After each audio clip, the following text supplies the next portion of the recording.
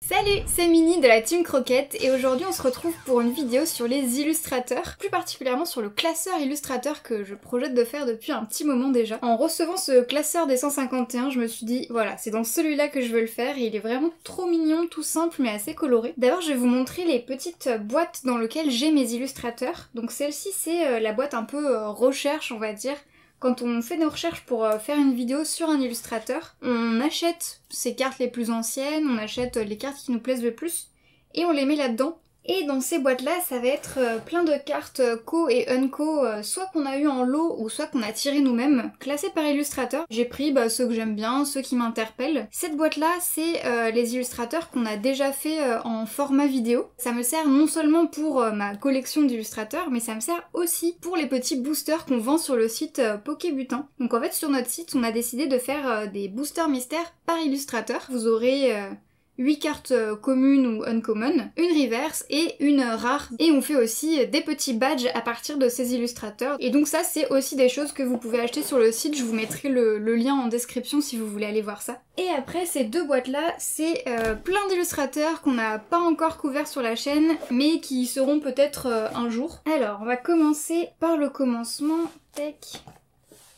En page d'accueil, donc la toute première page, j'aimerais bien faire une page qui regroupe une ligne par euh, OG, on va dire, donc les illustrateurs qui sont là depuis le tout début ou quasiment le tout début. Donc il y aura une ligne pour Kensugi Mori, une ligne pour euh, Mitsuhiro Erita et une ligne pour Atsuko Nishida. J'avoue que nous, comme on a commencé la collection, ou plutôt recommencé la collection récemment, on n'en a pas énormément. Donc je pense que je vais mettre mes préférés pour le moment et puis ça va être des choses que je vais remplacer au fur et à mesure. Donc c'est pas nécessairement les cartes qui sont dans les meilleurs états, hein, mais euh, vraiment finalement moi je m'en fiche que, que ce soit français, anglais, que ce soit en bon état ou un peu moins. Ce classeur-là, il est vraiment pas pour être euh, impeccable, il est vraiment fait pour avoir bah, des petites choses que j'aime, c'est... voilà. Bah je pense qu'après ça, on va passer direct à Tomokazu, hein. Tomokazu, il est là depuis euh, particulièrement longtemps aussi. On va essayer de faire, faire une page euh, un peu curste à gauche et mignonne à droite. J'ai un superbe Flagados lumineux et un Roigada obscur. Donc ils vont pouvoir faire un petit peu miroir des deux côtés de la page. J'ai la carte par laquelle tout a commencé, sa première euh, carte officielle Pokémon. D'ailleurs avec la texture de la carte c'est marrant, ça se voit en fait que c'était euh, la série Vending Machines. Ça nous fait déjà un étalage énorme de ces cartes. je pense que dans les curses déjà, il y aura forcément euh, les Whalmer qui ont l'air crevés, qui sont vraiment horribles. Le Ramolos qui se bouffe la queue, c'est du Kurst. Ça s'est vite rempli hein, la page Kurst. Ça va vite, hein Petit brindibou, il est très mignon. Il envoie joyeusement ses petites plumes dans ta tronche. Le Shedinja, alors il est, je, je, trouve la carte très très belle, les couleurs sont très jolies, mais il a quand même plutôt sa place dans le Kurst parce qu'il y a un cadavre dans la carte. Là, si vous voyez, c'est un mec qui a l'air euh, très mal en point, hein, on va dire. Il a les petits yeux en croix et tout. Je pense que je vais pas tout filmer parce qu'il y en a certaines que je vais faire avec Gabzil et puis ça risque d'être un petit peu long tout ce blabla. Je vais terminer ça et puis bah je vous retrouve juste après. Ok, alors me revoilà. Euh, ça a pris pas mal de temps comme d'habitude. Du coup, il fait super sombre, la lumière est toute pourrie, mais on va faire avec. J'ai fait les pages euh, des illustrateurs que j'avais mis de côté déjà, donc euh, évidemment c'est pas du tout exhaustif. En première page, donc j'ai mes, euh, OG illustrateurs. On a Kensugi Mori. Je vous avoue, j'ai pris un petit peu au hasard avec ce que j'avais sous la main pour le moment. Ensuite, on a Mitsuhiro Arita. Hop là. Et en dernier, on a Atsuko Nishida. À terme, pour cette première page, j'aimerais avoir euh, la première carte de ces trois illustrateurs en première colonne. Et puis après, bah, euh, probablement une carte vraiment marquante et une carte que nous, on adore. En deuxième page, euh, on a la double page Tomokazu Komiya. Il y a eu un petit peu de changement, donc dans les Kurst, celle-là, je l'adore, je l'ai en bourse d'échange, elle est incroyable. Sa coxie, qui est super connue, tout le monde lui envoyait des messages pour lui demander pourquoi sa coxie pleurait. Le 9 qui est sur le point de trépasser, le petit mélo fait avec le hyper creepy juste derrière, le gros stalker, les Weimar canés, le petit Ramolos qui bouffe sa queue. Dans les mignons, on a le Flagados lumineux, on a sa toute première carte, un petit canard tichot. En page centrale, du coup, on a mis la magnifique Plumeline. Donc on essaye d'avoir euh, quelques full art de nos illustrateurs préférés du coup. Donc c'est là qu'elles vont aller. Euh, c'est pas des cartes qui valent une fortune, mais c'est vraiment des, cartes qui sont magnifiques. Petit gamin que je trouve vraiment super cool. Et euh, dans les plus récentes, on en a des vraiment très belles, dont le gourmelet qui est probablement ma carte préférée de Tomokazu. Ensuite, du coup, Gabzil est venu m'aider pour euh, la page Cookie Saitu. Donc voilà, on a un petit ensemble, on essaie que ce soit représentatif euh, de l'illustrateur. Très mignon, on a un petit Pikachu en pièce centrale iconique. Sa façon de dessiner les Pikachu est vraiment très reconnaissable, donc on s'est dit que c'était pas mal d'avoir ça. Et euh, après, à terme, on va sûrement en remplacer quelques-unes. Là, on a fait un peu avec ce qu'on avait sous la main aussi. Mais euh, je trouve que ça rend très très bien. Ensuite, on a du très mignon, du coup, on a du Asako Ito. Ça me fait très très plaisir d'avoir euh, une page pour elle. Le Baudrive, il a un, un reverse qui est vraiment magnifique, un foil super cool.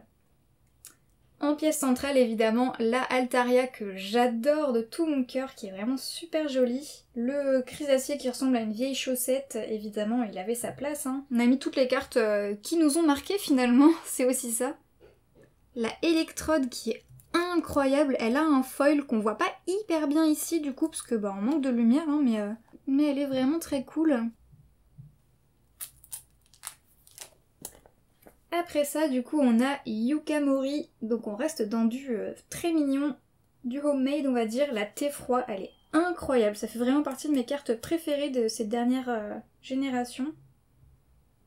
Là, on a des cartes un petit peu plus anciennes, du coup. On a la petite euh, Strassy, Mini Draco, Coraillon. Coraillon, je me demande si c'est pas sa première carte d'ailleurs. Elle est très jolie en tout cas, hein. c'était déjà, déjà très sympa.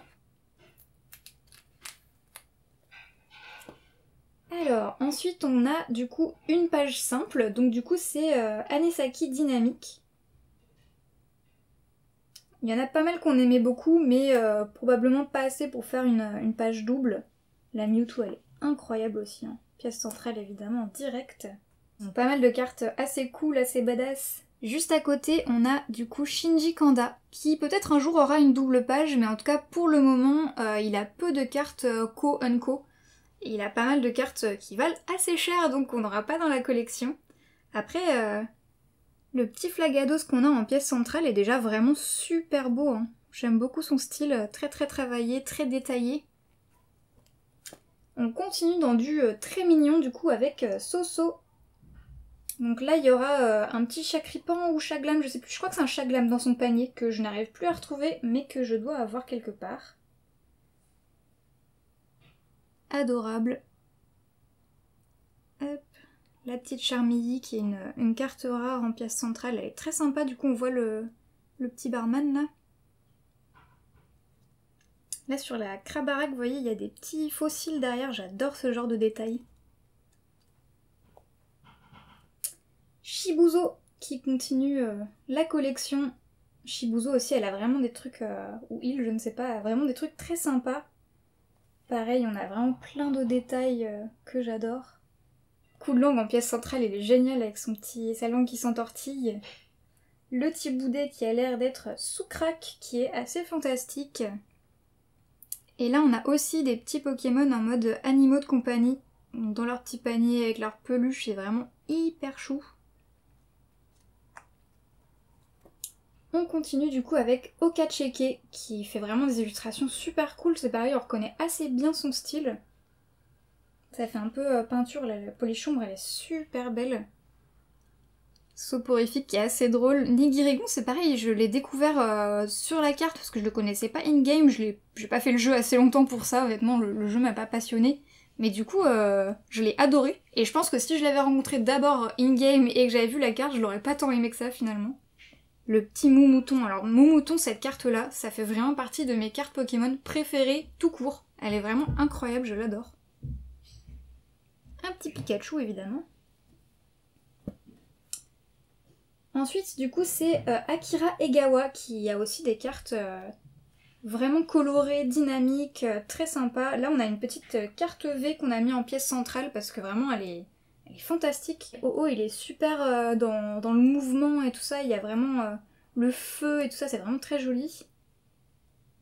Donc là, pour l'instant, la page est un peu vide, mais euh, elle se complétera au fur et à mesure. De toute façon, c'est un peu le but. Ensuite, on a Yogonosuke que j'adore vraiment.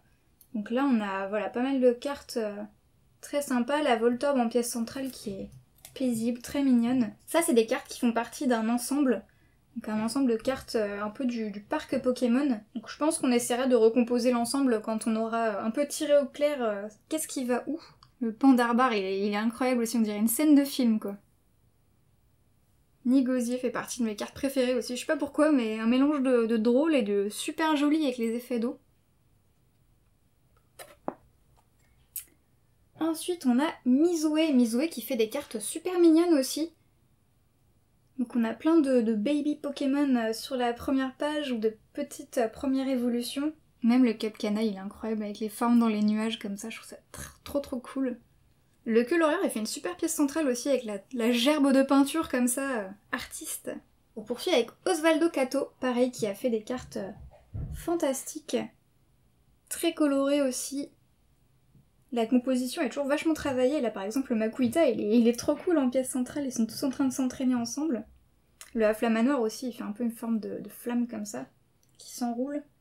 Et il a fait pas mal de cartes terrain qui sont très belles. Donc elles avaient leur place hein, finalement. Euh. Si on trouve du dresseur, du carte terrain, ce sera pas forcément que du Pokémon hein, en fait dans ce classeur là, ça sera vraiment un, ensemble. Son Kenotor il est, il est glorieux. Hein. Et voilà, et du coup c'est le dernier qu'on a fait, et vous voyez qu'il me reste pas mal de pages euh, de livres. Du coup c'est là que vous intervenez, est-ce qu'on a oublié votre illustrateur préféré? Est-ce qu'il nous manque quelqu'un dans notre collection, quelqu'un qui est vraiment euh, important à vos yeux, qui a fait des super illustrations? Je pense que je referai une petite update euh, de ce classeur une fois qu'on aura travaillé un petit peu plus dessus, parce qu'il va pas probablement changer avec 151. Bah comme vous avez vu dans 151, il y a euh, des lignées entières qui ont été faites par illustrateur. Donc je pense que plein d'entre elles vont rejoindre ces pages-là. Si comme moi vous appréciez les illustrateurs Pokémon, n'hésitez pas du coup à faire un tour sur notre site. En fait, ces boîtes-là vont me servir à faire du coup des boosters par illustrateur. Et Gabzil va nous faire une petite couverture de booster personnalisée pour chaque, etc. C'est vraiment des objets que je trouve très sympas. Bon, ok, là il fait nuit, euh, je pense que c'est officiellement le moment de vous quitter. C'était Mini de la Team Croquette. Ciao